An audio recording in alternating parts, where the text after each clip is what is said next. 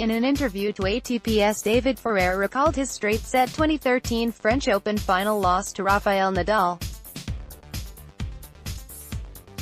I did not have a chance, but the motivation to play that match was not the best one. I headed into the court feeling a bit empty. And it was normal because it was my first final, it's something logical. But neither I nor my team knew more in that match. We did what we could. In an interview to ATP's the former world no.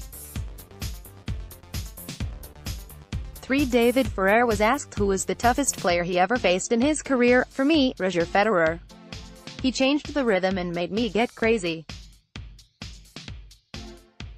I made him sweat like many other players, but I never had the chance to beat him, said Ferrer, who lost 17 times over 17 matches played against the Swiss. What players did he feel to be dominant again? I can say that with David Nalbandian I felt comfortable playing. He is a great player but I was okay with him. But you also have players with whom I always suffered. There are game styles that fit you.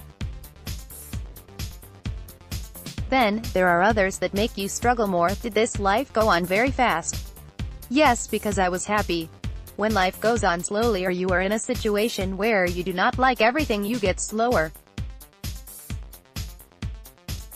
If you do a job you do not like I imagine that it goes on very slow. Without a doubt, I love what I do, let's block ads. Why?